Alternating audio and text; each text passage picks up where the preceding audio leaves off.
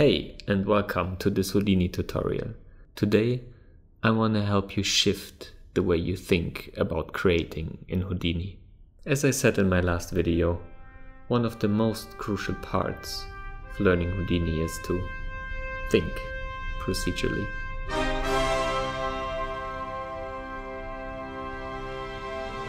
But what does it actually mean to think procedurally? Let's start by looking at the word's definition. Procedural thinking is about solving problems by breaking them into a series of clear step by step instructions or procedures. Trust me, as a German, I love a good procedure. Each step is precise, logical, and builds on the one before it, just like following a sequence. In simpler terms, it's like writing a recipe that someone else can follow. In this case, it's Houdini. Houdini uses those recipes to create your projects.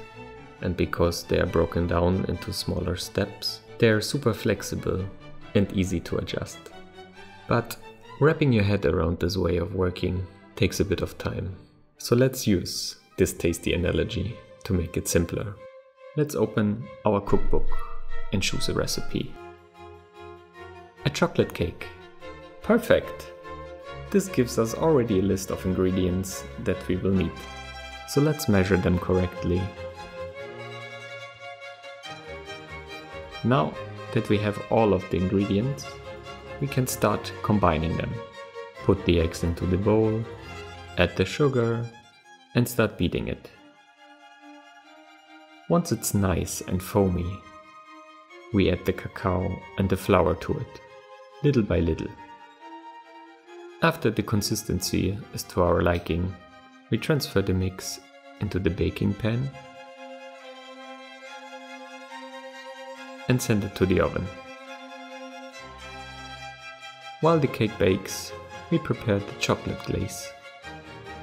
Once it's ready, we remove the cake from the oven and pour the glaze over it.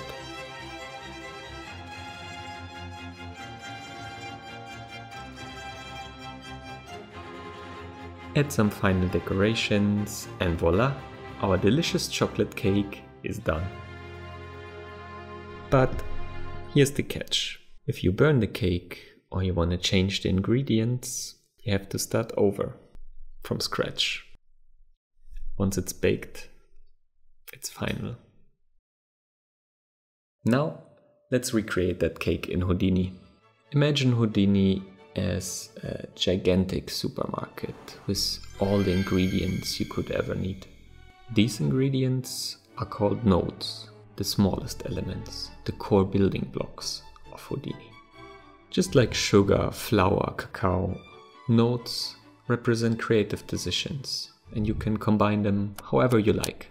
Once we gathered all of our ingredients, we can start bring them into a sequence and start to create the recipe with nodes. In the first step, we measure all of our ingredients. And after, we can combine them in the mixer's bowl. This set of nodes is called a node tree or a node network, where information flows from one step to the next in a non-destructive, flexible way. Let's fill our mix into a baking pan and put it in the oven. While it bakes, we melt some chocolate and prepare the glaze. Let's combine it with our dough and finish it with some blueberries.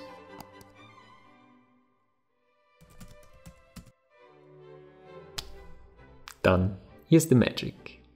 Unlike traditional baking, in Houdini you can go back to each step at any point in time. Want a vanilla cake instead of chocolate? Easy peasy. Swap out the cacao, the vanilla node. Mm, want to tweak the icing's color? Go ahead. Take some white chocolate, for example. Allergic to the blueberry topping? No problem. Let's use the strawberries instead. By breaking everything into smaller steps, you're not just creating one cake. No, you're creating a system to create infinite variations of cakes without starting over. Let's face it, when I started cooking, I was not starting with the most fancy dish like a beef Wellington. No, I guess we all started fairly simple, like with a pre-made frozen pizza. In Houdini, the equivalent of a frozen pizza are the shelf tools.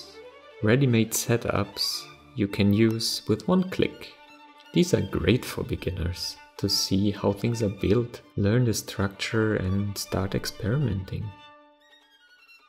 As you get more comfortable, you create your own unique recipes, combine nodes in creative ways, adding your personal touches and building complexity step by step. Talking about complexity, let's say we want to model something more intricate, like a, like a flower. Flowers are fascinating because their organic shapes follow natural patterns, and I was always intrigued to replicate them in 3D. The key to model those objects is to analyze their structures and split them into manageable steps. In Houdini, we break the flower into parts petals, stem, and leaves. Each part becomes a group of nodes. We then align and arrange them using mathematical rules found in nature. Leaves and petals, for example, are arranged in this 137.51 degree angle, which results in those typical arrangements. Let's nerd out about this in a different video. Again, by building each step procedurally, we are not just creating a flower, we are creating a system to model endless variations of that flower. Make the petals longer, add more of them, change the stem's curve, all without redoing your work. I think you get the hang of it. To sum it up, nodes are your ingredients. They capture all of your creative decisions. Node networks are your recipes. They combine nodes in a flexible, non-destructive way. Your setups can be shared with others in form of digital assets, just like passing down your favorite family recipe.